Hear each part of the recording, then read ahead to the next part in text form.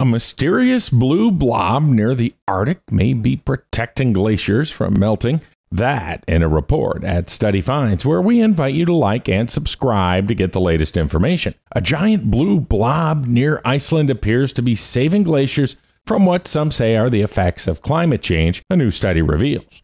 Researchers say this region of cooling water in the North Atlantic Ocean has already slowed the melting of glaciers in Iceland and may help keep the region cold for another 30 years. While scientists have a few theories on how the blue blob formed, the exact cause is still unclear. The chilly water just south of Iceland and Greenland reached its coolest point during the winter of 2014 and 2015, when ocean surface temperatures were 2.52 degrees Fahrenheit colder than normal. A team from Iceland and the Netherlands used climate models and observations in the field to prove that the blue blob is chilling the air over Iceland enough to slow down ice melting.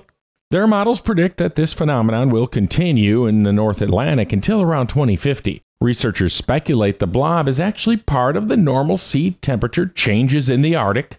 During the region's coldest period, 2014 and 2015, there were particularly cold winters, which led to an upwelling of cold, deep water. Before the discovery of the blue blob, scientists already noticed a cooling trend near Iceland called the Atlantic warming hole, the trend reduced ocean surface temperatures by 0.72 to 1.44 degrees over the last 100 years.